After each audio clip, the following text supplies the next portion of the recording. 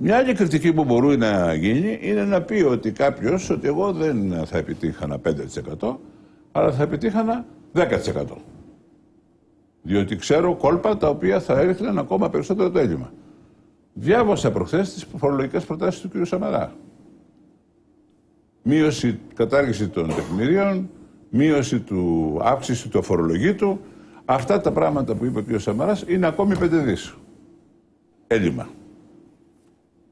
Έτσι. Δηλαδή ξαναγυρνάμε εκεί Με που τη μόνη ξεκινήσαμε. διαφορά Καλά, ότι και αυτά σίγουρα αλλάζουν. δεν Το βάζει 15%. Με τη μόνη διαφορά Το ότι 15% μεγάλο μέρος λέω. του ελλείμματος Έτσι. οφείλεται στην ύφεση. Λοιπόν, αυτή την κύριε κριτική Πρόεδρε. με συγχωρείτε, δεν τη σέβομαι. Μεγάλο γιατί είναι μέρος- αξιοσέβαστης. Μεγάλο μέρος του ελλείμματος, και το ξέρετε κι εσείς και το έχει παραδειχθεί και ο κύριος Βενιζέλος δημόσια, οφείλεται στην ύφεση.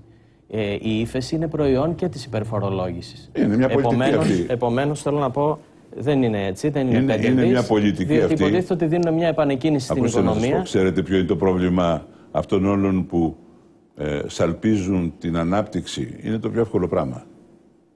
Η ανάπτυξη, η ευτυχία, η ευημερία, η αλληλεγγύη, όλα αυτά είναι ωραίες λέξεις. Το πρόβλημα με την ανάπτυξη ποιο είναι. Ότι πρέπει να βάλεις λεφτά τώρα για να έχεις ανάπτυξη αργότερα. Το πρόβλημα με την υπερχρέωση είναι ότι δεν έχεις αυτή τη δυνατότητα. Πάντως, κύριε Διότι δεν έχεις Αντιπρόεδρε, ρευστότητα.